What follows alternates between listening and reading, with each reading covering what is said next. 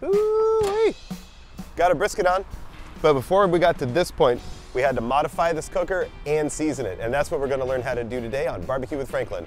I'm Aaron. Today we're gonna be working on this offset cooker. It's also called the stick burner. It's called the stick burner because it doesn't use gas assist, it doesn't have propane, natural gas, it doesn't have any electrical elements. It's only fire that goes in here, and that's the way it ought to be. And one of the things we're gonna be modifying today is we're gonna drill a hole here, we're gonna actually put a decent thermometer on, because you can't really cook unless you know how hot you're cooking at. We're gonna open this deal up, kind of try to eyeball how much room a brisket's gonna take up. It's gonna be right about here. And then we're gonna look at it, and if we're doing a three inch stem, we want it to be about an inch, inch and a half above the grate, because that would be right in the middle of a brisket. Kind of eyeball it right about here. Come over here. Our brisket came about up to here. So we're gonna drill a hole right about here. We'll take a little Sharpie, make a little dot there so we don't mess anything up. And let's get a drill and drill away. Let's do this.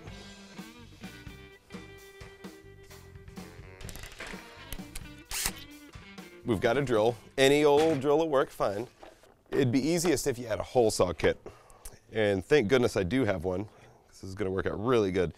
This is our thermometer. It's a three inch stem because we've got a pretty small cooker. That's a half inch NPT thread. So we're gonna find something that's big enough for that to fit through. I believe it ought to be this one.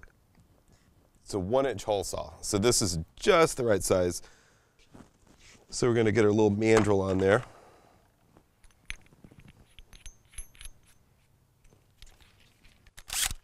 Get this thing. And there we go. Let's go drill a hole. So we're gonna drill this holio right here. Kind of start off.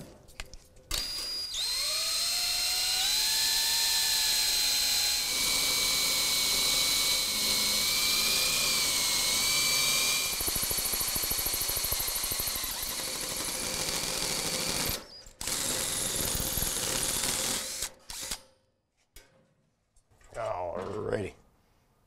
Don't touch that because it's hot. Ow. I'm gonna add a thermometer. It's in the wrong spot. There's several different kinds you can get. This cheaper one here is about $20. So most likely this is gonna be the easiest one to find. You can get this at, at national chain stores across the country.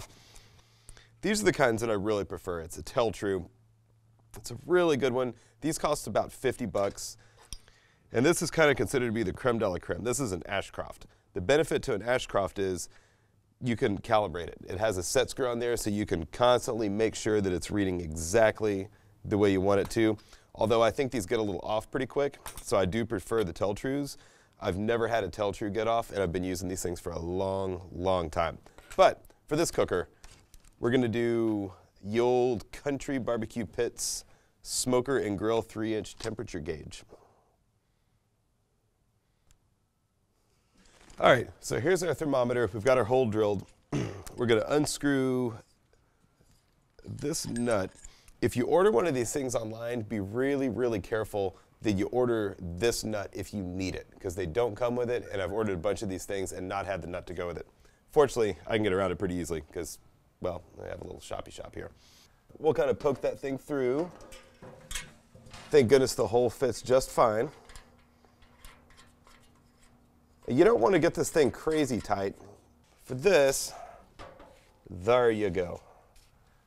Problem solved. The temperature gauge is, is between the meat and the heat, so you know it's going to be cooler over here. It's always going to be hotter here. You can't burn anything up if you're paying attention to it, and it's right at meat level. You want to make sure that you don't turn it by the gauge, because if you do, you'll throw off the calibration, and you just want to leave it as simple as possible and just not even mess with it. So that's a perfect placement for a thermometer.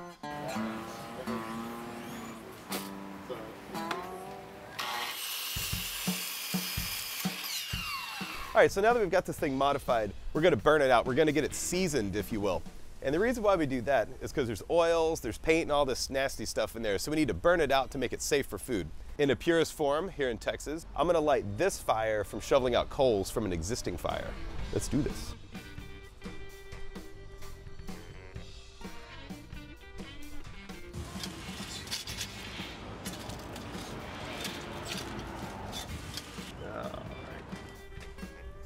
Hot coals.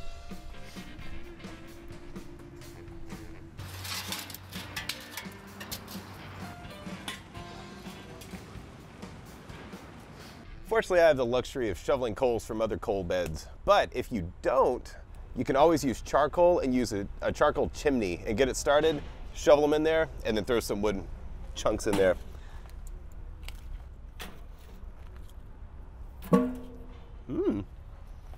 All right, so now that I've got some wood chunks here on the coal bed, we're gonna let this thing sit about 250, 300 degrees. And how do you know how hot? New thermometer. We're gonna just let this thing ride until it doesn't smell like burning paint anymore. Delicious. Did you happen to see our episode on trimming a brisket? Well, if not, somewhere on the screen there's something to click on. Click on that.